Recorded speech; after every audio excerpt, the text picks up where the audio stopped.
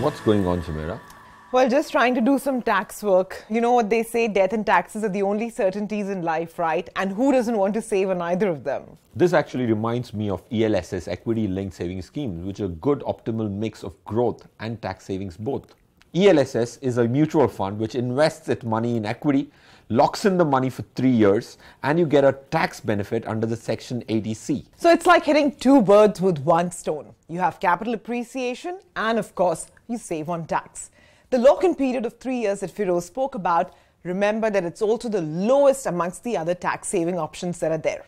And of course, under 80C, you can put one and a half lakh rupees in ELSS, but there is no limit to how much you can actually invest in it. A few more points to keep in mind when it comes to equity linked savings scheme is the taxation has changed from 1st April 2018.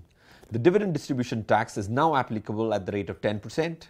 Long-term capital gains is going to be applicable to the gains at 10% again. Second, since they invest in equity, there is going to be immense amount of volatility relative to the other conventional tax saving options. Third, if you're doing a systematic investment plan on a recurring monthly basis, each installment of the systematic investment plan would be locked in for three subsequent years. And lastly, since there is a lock-in period, the advice would be to stick to large asset management companies when it comes to ELSS. As an investor, you have more than 30 different equity linked saving schemes for you to choose from, Sumaira.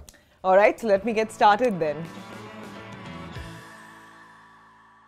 An ETF or an exchange traded fund is essentially a fund that tracks a market index. So it could be an equity index or it could even be gold prices. And it also trades on the index.